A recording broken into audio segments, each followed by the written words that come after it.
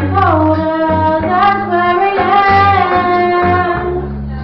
I told her we still be friends.